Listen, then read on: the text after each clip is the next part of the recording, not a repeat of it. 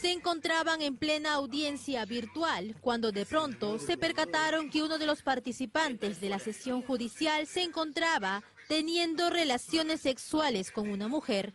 El juez no podía creer lo que estaba ocurriendo.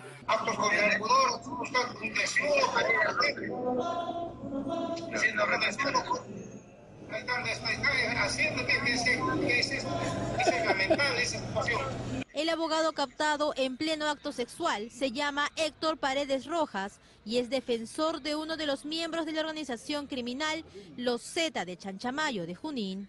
Todo parece indicar que el letrado olvidó apagar su computadora personal con la que iba a participar de la audiencia. En las imágenes se pudo observar a Héctor Paredes Robles desnudándose junto a una mujer.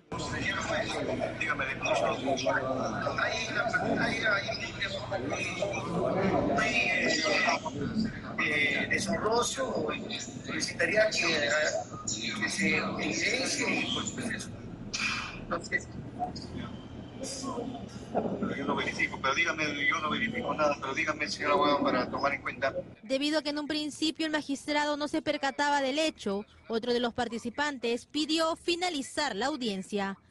El titular del juzgado de investigación preparatoria de Pichanaki dispuso que el Ministerio Público inicie una investigación, así como el Colegio de Abogados de Junín. 5 y 59.